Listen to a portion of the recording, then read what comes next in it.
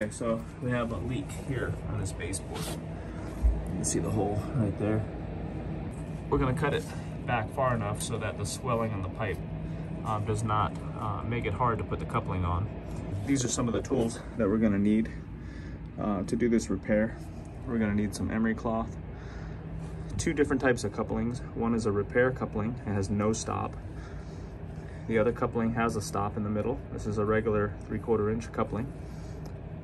We need solder. We need a tape measure so that we can measure the pipe um, to replace the part that we cut out. We need a reamer, a sheet metal cutter, needle nose pliers. I use this Milwaukee pipe cutter because it can get into close areas. Then I have a drill and a wire brush and I'll show you how I clean the pipe. And then I have a flux. And what I do uh, with the flux brush is just bend it um, at a 45 degree angle. That way I can get um, behind the copper pipe whenever I apply the flux. I lay the plastic drop cloth down in order to prevent uh, making a bigger mess if we cut this pipe and there's a bunch of water in it. Um, I have dry paper towels on standby just to catch any kind of extra water that might leak. And then I have uh, this paper towel here is wet. I use it as a heat shield. Um, when I go to solder um, or heat up anything, um, the wet paper towels here will not catch on fire and they also will stop the heat from transferring into the carpet or the plastic or into the metal. I use an automatic lighting torch. Uh, all I have to do is pull the trigger and it will ignite.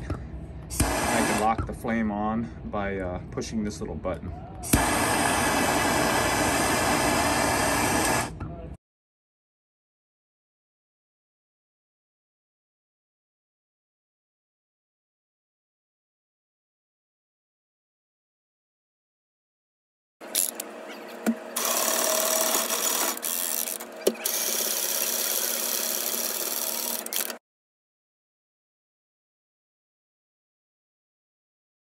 I'm gonna go ahead and ream out the ends of the pipe.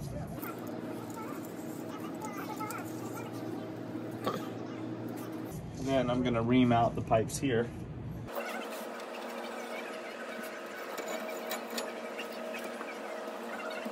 Then I'm gonna drain the water out of the pipe as much as I can. So I'll lean it down, tilt it down and push it down just to make sure there's no water standing in the pipe. See the little bit of water there.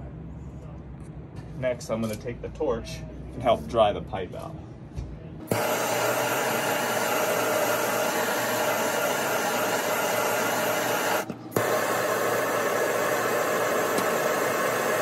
You don't want any water inside the pipe when you go to solder it.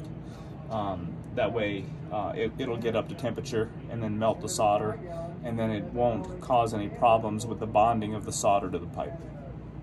So my next thing I'm going to do is go ahead and use the emery cloth and clean the copper pipe. It still can be hot, so you got to be careful. Uh, make sure it's cooled down a little bit.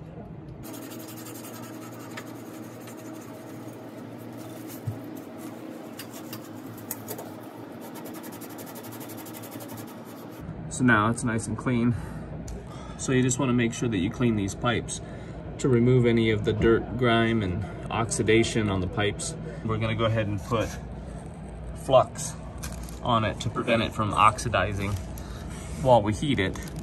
You just want to put a thin coat on the copper. So if you have any extra or excess flux on the pipe, you'll just wipe it off with the brush. Um, I just need to make sure I have enough flux on here to coat everything.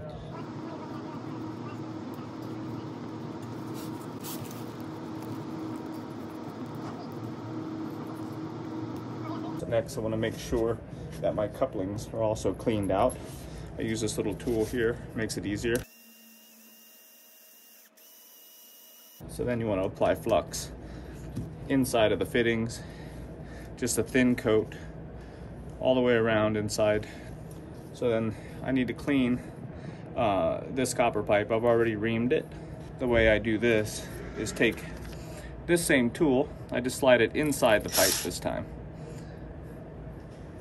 And then I can just use the, the emery cloth. It makes it uh, much faster and easier to clean. Make sure you apply the flux far enough onto the pipe that wherever the coupling is going to end, you're just a little bit past that. That's where I'm going to touch my solder to the pipe. You don't want bare metal with no flux where you're touching the solder to it because it won't stick to the pipe. I'm going to put the ends onto this copper. One regular coupling and one repair coupling. The repair coupling can slide all the way onto the pipe. And now this is the pipe exposed here. That way I can get this pipe all the way into that spot. I'm not able to push the pipe apart, so I have to fit something into it and then connect it.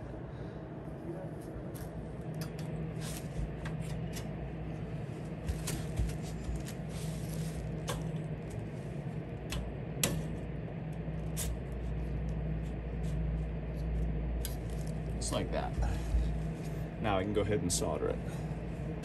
I like to use Silvabrite 100. I get enough solder out and I just bend the end of it um, just so that I can get behind the piping. You want to keep the torch moving. You don't want to heat it in one spot on the on the copper, but you're also paying attention to the baseboard. You don't want to get the baseboard too hot in one spot either. So you can either put um, one of these wet rags behind it, or you can kind of keep the flame moving and then just get the copper hot enough without overheating the wall.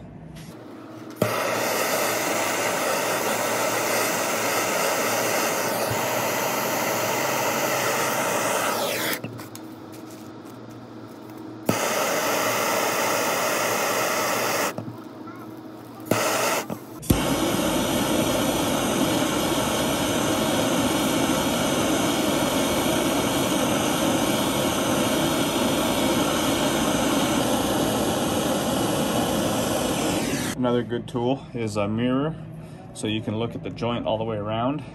Good flashlight so that you can uh, see in the dark.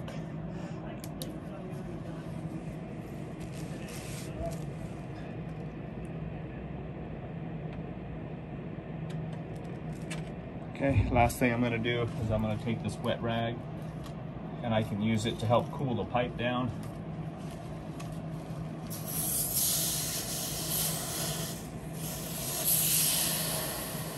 Want to wipe off any flux that's left on the pipe. That way it doesn't um, start turning green and corroding the pipe.